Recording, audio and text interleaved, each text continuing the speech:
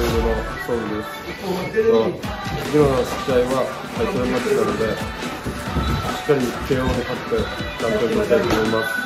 対戦相手のレオ君は、まあお互いバチバチの投げ合いをしましょう。このシリーズファンの皆様、次も頑張るので盛り上げてください。お願いします。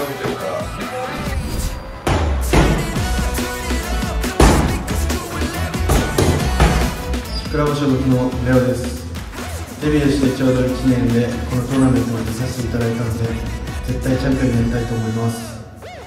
ソウル選手はトリッキーで盛り上がる試合を作れると思うのでお互い楽しんで試合をしましょう。内容のいい試合をするので応援よろしくお願いします。絶対勝ちます。